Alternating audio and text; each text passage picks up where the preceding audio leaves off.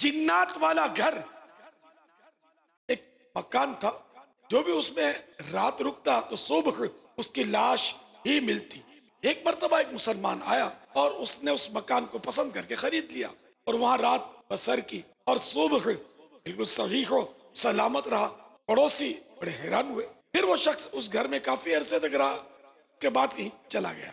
जब उस आदमी से उस घर में सलामत रहने का सबब पूछा गया। तो कहने लगा, मैं जब उस घर में रात गुजारता तो ईशा की नमाज़ के बाद कुरान करीम की तिलावत किया करता। एक बार एक पुरस्कार नौजवान ने कुएँ से बाहर निकलकर मुझे सलाम किया। मैं घबरा गया। वो कहने लगा, डरिए मत, मुझे भी कुछ कुरान करीम सिखाइए। चुनाचे मैं उसे कुरान करीम सिखाने लगा। मैंने उससे पूछा, इस घर का किस्सा क्या है? उसने बताया, हम मुसलमान जिन्नात हैं और हम भी कुरान करीम की तिलावत करते हैं और नमाज़ भी पढ़ते हैं। इस घर में अक्सर बेशतर शराबी और बदकार किस्म के लोग रहने के लिए आए। इसलिए हमने गला घोट कर उनको मार डाला। मैंने उससे कहा, रात में आपसे डर लगता है। बरा करम दिन में तशीब लाया करें। उसने कहा, ठीक है, चुनाचे वो दिन में कुएँ से बाहर आता और मैं उसे पढ़ा था। एक मरतबा ऐसा हुआ कि वो जिन मुझसे कुरान सीख रहा था एक अमलियात करने वाला यानी बाबा जी मोहल्ले में आया और आवाज़ें लगाने लगा। मैं सांप के डसने, नजरे बद और आसेब का दम करता हूँ। उस जिन ने मुझसे पूछा, ये कौन है? मैंने कहा, ये झाड़ फूंक करने वाला है, बाबा जी है। जिन बोला, इसे मेरे पास बुलाओ। याद है, मैं गया और उसे बुला लाया। यकायक वो जिन छत पर एक बहुत बड़ा सांप बन गया।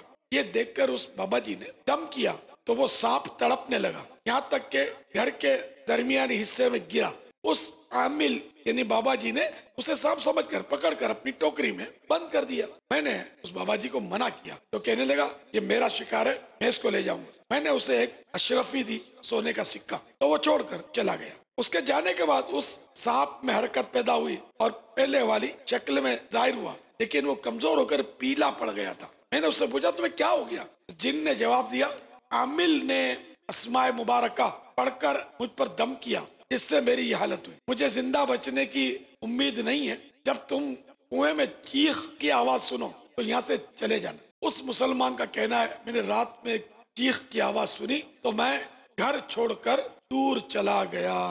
आशिकान रसूल, जिन्नात के वजूद का इनकार या बदी की कुत का नाम जिन या शैतान रखना कुफ्र है। जो लोग मुसलमान होने का दावा करने के बावजूद जिन्नात के वजूद का इनकार कर देते हैं ना, जिन्नात है ही नहीं कोई चीज़। ऐसे ऐसी किस्से कहानियाँ हैं, उनकी मालूम के लिए अर्ज़ है कि कुरान करीम में तकरीबन 26 यानी 26 मकाम पर जिन्नात का तस्करा है और एक पूरी सूरत का नाम ही सूरतुल जिन है। इस वाक़े से पता चला कि गुनाहों की नहूसत के सबब दुनिया में भी बलाएँ और आफतें आ सकती हैं। जैसा कि उस आसेब जदा मकान में आने वाले शराबियों और बदकारों को जिन्नात गला घूट कर मार देते थे। इससे घरों में फ़िल्में, ड्रामे देखने वालों और तरह तरह के गुनाहों में मशगूल रहने वालों को भी इबरत हासिल करनी चाहिए। रूहानी इलाज। बसमीम इक्कीस बार, यानी ट्वेंटी वन टाइम, जो रात सोते वक्त पढ़ ले, उस रात वो हर किस्म के अचानक होने वाले हादिसात एक्सीडेंट्स